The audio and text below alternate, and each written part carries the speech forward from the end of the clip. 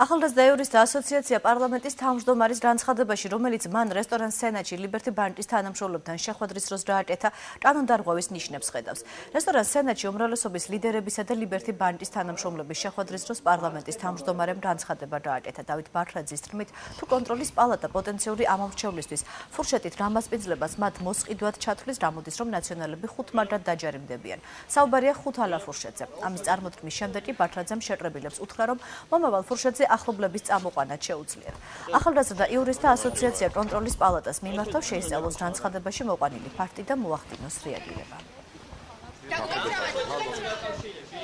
ამომრჩევლისათვის პირდაპირ ან არა პირდაპირ რაიმე სახის მომსახურების შეთავაზება და მithumetes გაწევა სწორედ კანონდარღვევას წარმოადგენს.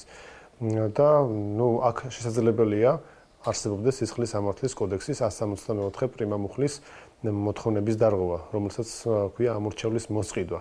ამ მუხლში, სისხლის სამართლის კოდექსის ამ მუხლში მითებულია, რომ პოლიტიკური მიზნით ამორჩევლისათვის გარკვეული მომსახურების შეთავაზება ან გაწევა სწორედ წარმო უსასყიდლოდ წარმოადგენს ამორჩევლის მოსყიდვას. ბატონი პარლამენტის თავმჯდომარის ფრაზაში გამოსჭიოდა, რომ მას საერთოდ არ ადარდებს ის თუ რას ფიქრობს საზოგადოება იმის შესახებ, თქვათ, მისი ოპონენტი, პოლიტიკური ცენტრი როგორ ხარჯავს თანხას, ან თქვათ, სახელმწიფო პარტია როგორ ხარჯავს თანხას და ეს იყო ძალიან შემაწუხებელი პირადად ჩემთვის.